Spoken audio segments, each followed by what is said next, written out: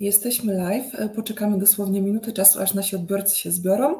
Ja sprawdzę oczywiście połączenie i czy już jesteśmy transmitowani, a także udostępnię tego live'a u siebie. Szymon, jeżeli masz ochotę, również zachęcam. Wiem, że masz wielu wiernych fanów, grupę odbiorców, która na pewno będzie chciała Ciebie posłuchać, no bo dziś poruszymy bardzo ważny temat, mianowicie przygotowania do maratonu i tutaj też będzie właśnie taki ciekawy case z tego względu, że zawsze byłeś kulturystą, o czym zresztą powiemy, i nagle po prostu tutaj mamy do czynienia z maratonem. Ja już udostępniam tego też live'a u siebie, żeby moi odbiorcy również Ciebie posłuchali. Powiem Wam, że Szymona znam od lat. Bardzo się cieszę, że w ogóle zgodził się wziąć udział w tym live'ie, ponieważ uważam, że jest taką osobą bardzo merytoryczną. Sama czasem z nim rozmawiając, wiele się od niego uczę.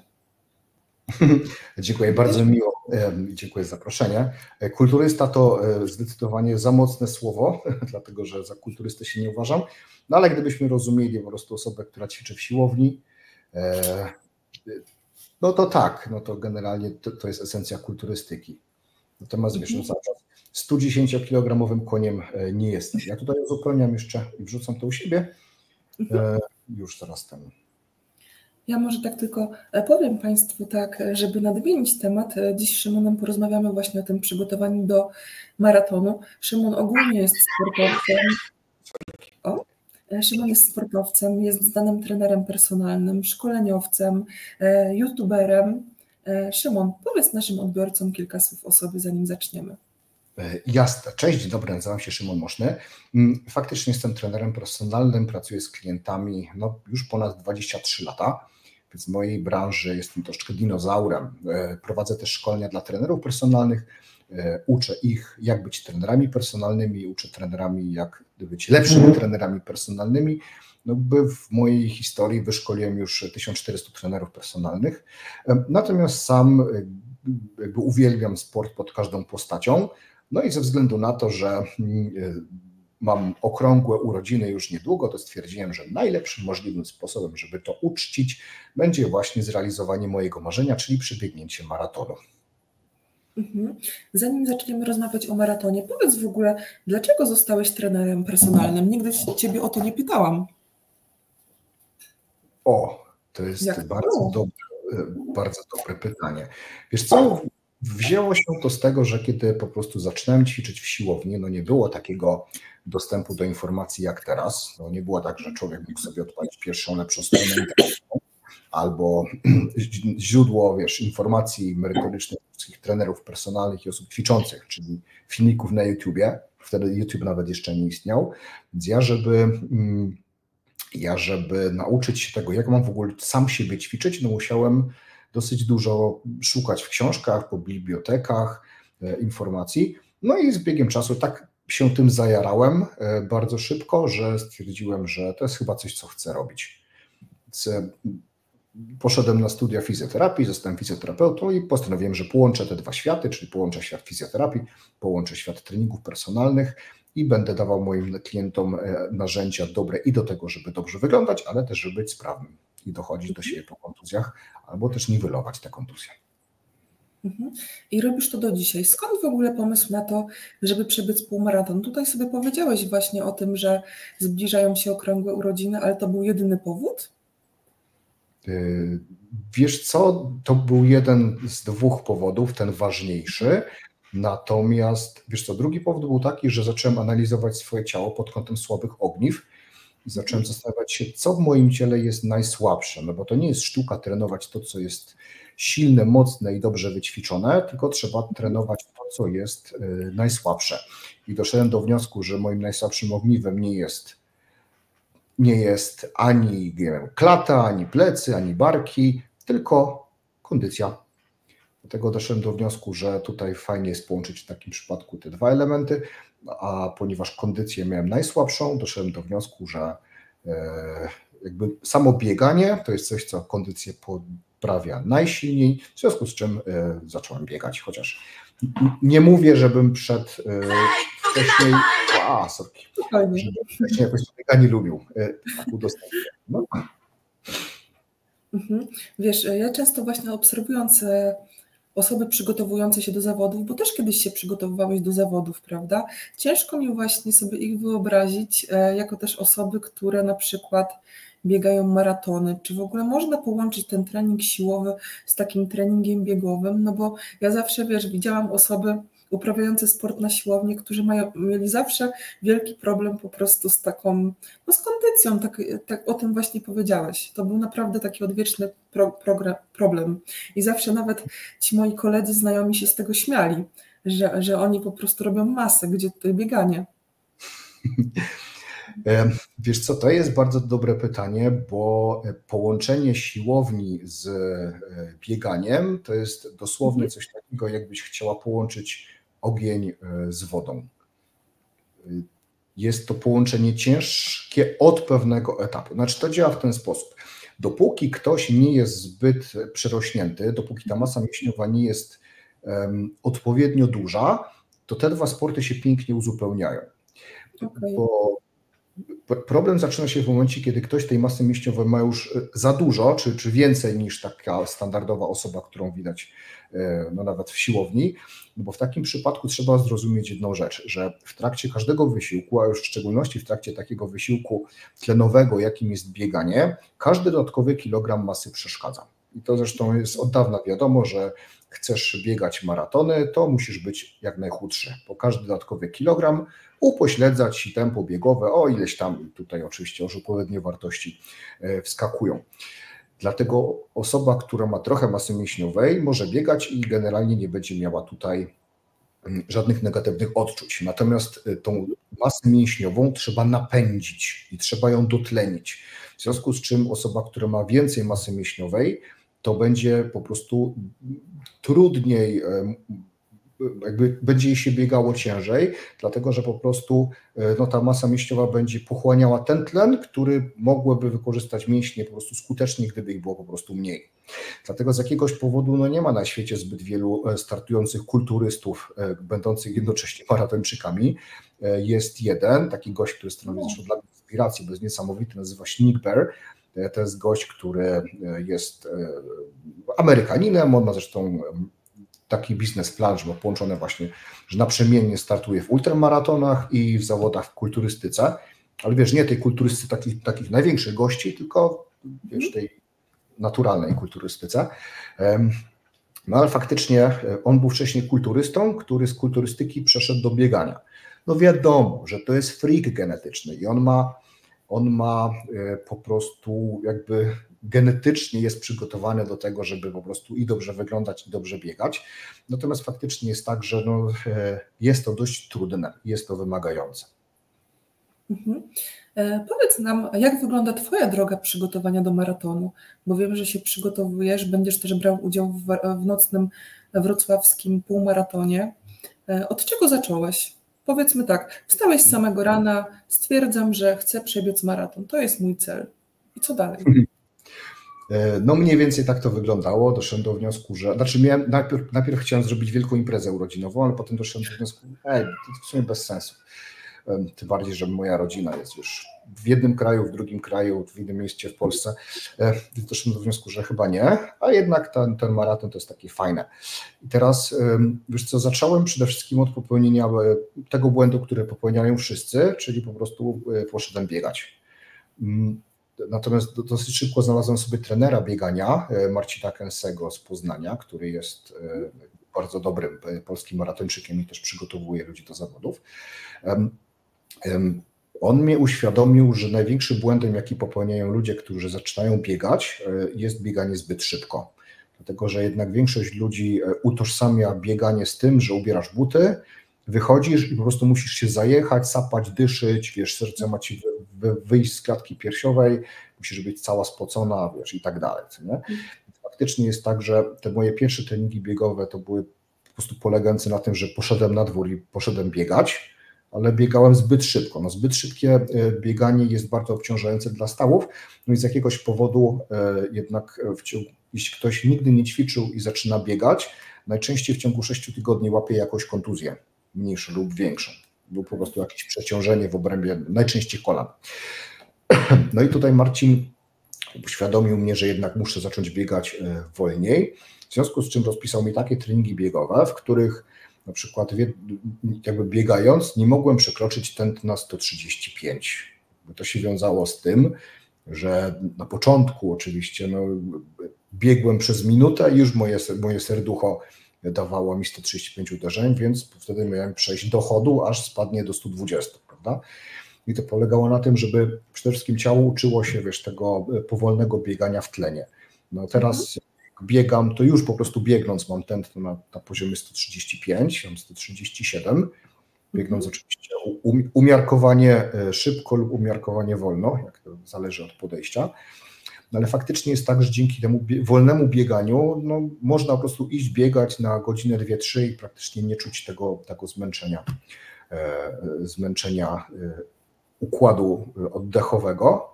Wcześniej było tak, że mi płuca nie wyrabiały i przez płuca musiałem przerywać bieganie. Teraz już nie wyrabiają mi nogi i przez nogi muszę przerwać bieganie. Zresztą ostatnio miałem taki trening, który polegał na takim powolnym, długim wybieganiu 30 kilometrów. Wow. No to po, ponad 3 godziny mi zajęło. No i faktycznie było tak, że wiesz, po tym czasie to już nogi po prostu bardzo mocno bolały, a kondycyjnie w ogóle nie, nie czułem, żeby to było dla mnie jakkolwiek trudne.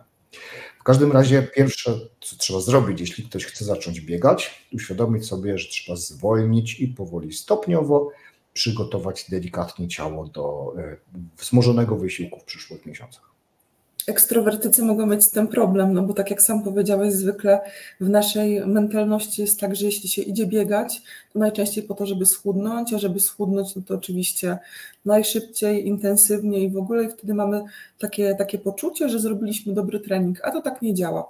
Wspomniałeś o tych takich swoich krokach milowych e, podczas treningów, typu, że ostatnio się okazało na przykład, że że nogi ci kondycyjnie po tych 30 kilometrów i tak szapoba nie wytrzymują. Co w takim momencie, kiedy takie kroki milowe się pojawiają? Konsultujesz się ze swoim trenerem i on ci mówi na przykład, e, co masz robić, no bo ty, prawda, trenujesz regularnie od wielu lat na siłowni, więc teoretycznie nogi masz mocne. Nogi mam mocne, ale w treningach siłowych.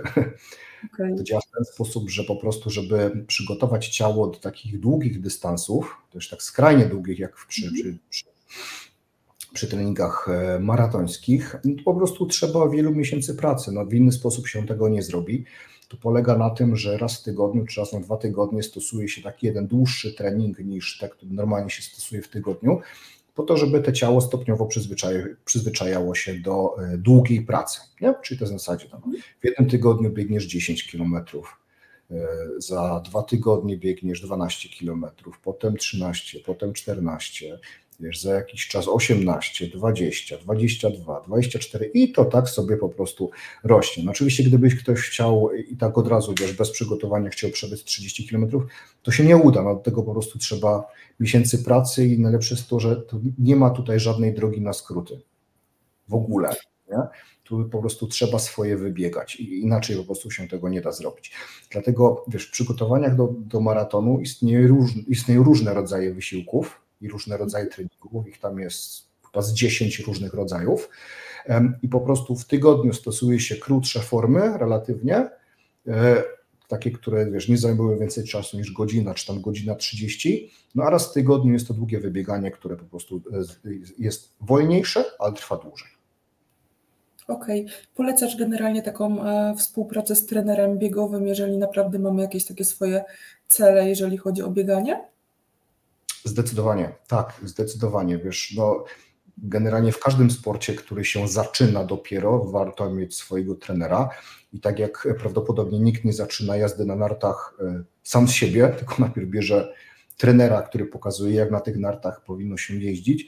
Tak samo w przypadku no, biegania. No tutaj no nie jest to specjalnie droga usługa, a jednak taka osoba, która ma dużo doświadczenia w pracy z ludźmi, no pozwala ci po prostu też dając ci do, do, dopasowane do ciebie formy wysiłku, czy czas ich trwania, e, i przede wszystkim bazując na swoim doświadczeniu, które, które, polega na tym, że jednak te dziesiątki czy setki sportowców się przerobiło, no daje ci takie, e, takie formy ćwiczeń, czy takie y, czasy trwania i takiej intensywności, które no przede wszystkim pozwolą Ci na uzyskiwanie coraz to większej sprawności, ale z drugiej strony nie doprowadzą do wystąpienia kontuzji.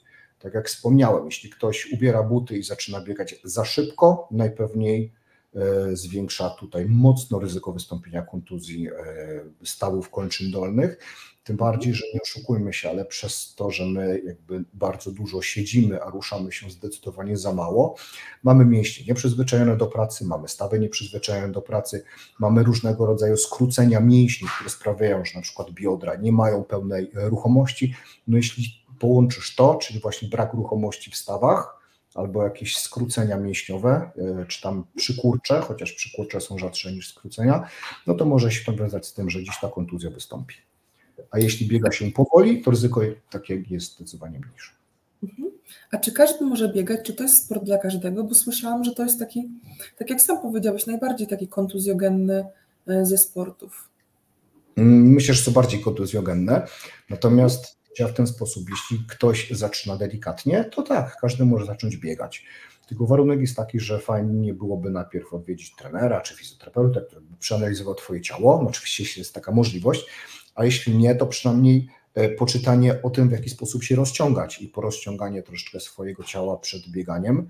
E, no i przede wszystkim, żeby zacząć delikatnie, czyli nie od szybkich sprintów, bo tak mhm. naprawdę ja teraz jeszcze nie doszedłem do sprintów po kilku miesiącach biegania, e, tylko robienia po prostu powolnych wybiegań, właśnie takich marszobiegów, czy na przykład minuta truchtu, trucht to jest wolniejszy bieg, na przykład dwie minuty chód i znowu minuta truchtu, dwie minuty chód. To pozwala ciału po prostu tak, wiesz, tak wpłynąć w te treningi, a nie zużywać i wyczerpywać jego zasobów energetycznych, sił witalnych itd., tak itd. Tak Trzeba też pamiętać o tym, że bieganie ma być świetnym uzupełnieniem życia, e, a nie wpływać na nie destrukcyjnie.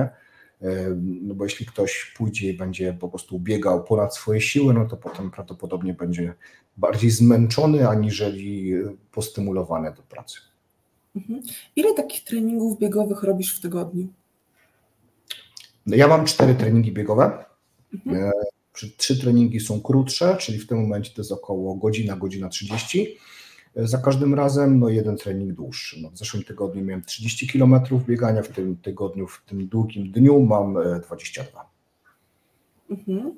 E, a czy warto łączyć trening siłowy z, z treningiem biegowym? Pytam, ponieważ ostatnio widziałam to, Twojego takiego najnowszego e, e-booka, który właśnie proponował połączenie treningu siłowego z treningiem biegowym, bo często właśnie słyszy się taki mit, mit moim zdaniem może mnie wyprowadzić z błędu, że albo się decydujemy na ten trening siłowy i robimy siłownię, natomiast bieganie to bardziej jako cardio, chociaż lepiej po prostu szybki marsz. Wiesz, pojęć jest bardzo dużo i jest bardzo taki duży chaos informacyjny aktualnie. Mm. Wiesz co, y, tak jak wspomniałem wcześniej, warto to łączyć, natomiast wiesz, wszystko pytanie, Y, wszystko rozchodzi o pytanie, jaką ktoś ma dobrą kondycję. No bo jeśli ktoś nie ma wcale kondycji, no to w tym momencie biegając będzie miał pewnie tętno od razu 160-170, a to jest takie tętno, które będzie bardzo obciążające, wyczerpujące i raczej nie będzie miało zbyt wiele wspólnego ze spalaniem tłuszczu. Natomiast jeśli ktoś ma tą kondycję bardzo dobrą, no to w tym momencie może iść sobie biegać powoli, tam nie wiem, 9-10 na godzinę nawet, i mieć przy tym tętno 135, y, 140. Widzisz, to są w ogóle dwie różne, dwie różne skale. W tym momencie, jeśli ktoś pójdzie biegać i będzie biegał przy tętnie 135, to będzie trening aerobowy dla niego. Więc raczej taki bardzo y, niskoenergetyczny i niewymagający. No jeśli ktoś nie ma kondycji, no to bieganie tutaj nie będzie jakby uzupełniał treningu siłowego, czy nie będzie e, aż tak dobrze mogło spalać tłuszcz. A dlaczego? Dlatego, że takie intensywne bieganie na pewnym etapie stanie się zniechęcające.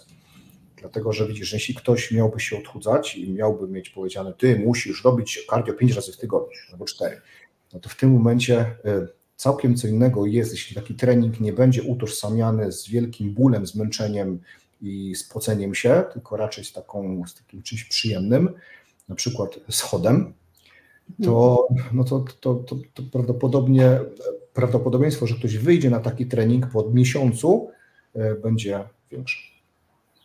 Wiesz, to dobrze mówisz, to wszystko mental. To tak samo jak z dietą. Ja na przykład jak sobie mówię tak od jutra e, zaczynam dietę, prawda, zrobię te wszystkie zakupy. No mhm. i oczywiście jak tylko wstanę rano i się szykuję te posiłki, no to e, od razu jestem głodna i zjadłabym coś niedozwolonego. Jak sobie powiem, że od jutra rozpoczynam zdrowy tryb życia, to od razu to, to na mnie inaczej w ogóle działa, bo nie mam czegoś takiego w głowie, że muszę z czegoś rezygnować. No, więc tak jak się mówi, trening i dieta mają być uzupełnieniem życia, a nie wpływać na jego odwrócenie się e, do góry nogami. Dlatego lepiej jest tutaj spokojnie sobie wejść właśnie w takie, wiesz, powolne bieganie bazujące na marszobiegu, trochę marszu, trochę biegu, aniżeli od razu po prostu próbować zbyt ciężko. No, to jest tak jak ze wszystkim. Im, im dłuższa była przerwa od wysiłku, czyli im więcej lat upłynęło, zanim e, znowu postanowiłem się ruszać, tym to musi być po prostu, ten rozruch musi być delikatniejszy. Mhm. Trening to jedno, ale jak w każdym takim e, treningu wysiłkowym, bardzo ważna jest regeneracja. W jaki sposób ty się regenerujesz po takich treningach i co polecasz naszym odbiorcom? Mm, wiesz co? Warto tutaj e, pamiętać o tym, że jednak kluczowa jest higiena snu. Higiena snu to jest taki parametr, który w tym momencie jest jakby najważniejszy i powinien mieć priorytet nad wszystkim innym, e, a jest też niesamowicie zaniedbywany, bo generalnie nieprzerwany, trwający 7-8 godzin sen jest czymś absolutnie niezbędnym do regenerowania wszystkich e, struktur w naszym ciele.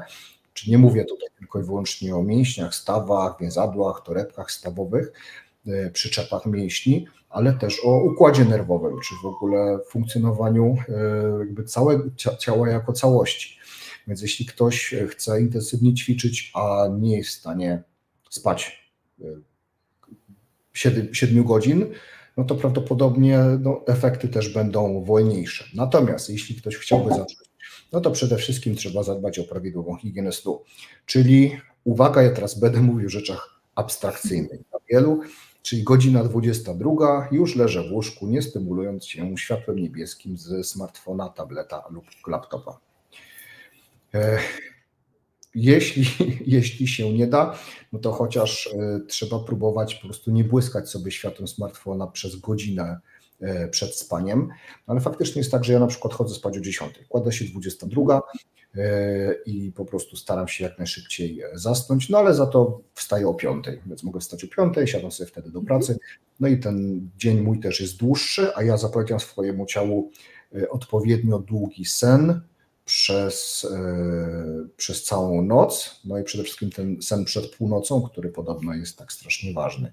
No dzięki temu e, ciało faktycznie funkcjonuje lepiej. Zresztą ostatnio nawet e, w zeszłym miesiącu, tygodniu, miesiącu chyba, był Światowy Dzień Szczęścia i czytałem artykuł takiej pani profesor, która zajmuje się badaniem szczęścia. Ona poproszona o wymienienie czterech czynników, które najbardziej wpływają na szczęście. Na pierwszym miejscu wymieniła prawidłową higienę snu powiedziała, jak ważne jest to, żeby spać po prostu długo, regularnie, e, systematycznie, w weekend tak samo, e, po to, żeby ciało po prostu mogło być szczęśliwsze. Poruszyłeś kwestię snu, a jak to wygląda z porami treningowymi, jeżeli chodzi o bieganie? Bo są osoby, które trenują rano, są osoby, które trenują w południe, są osoby, które totalnie późnym wieczorem przed snem trenują i też słyszałam, że taka aktywność e, często wpływa negatywnie na sen.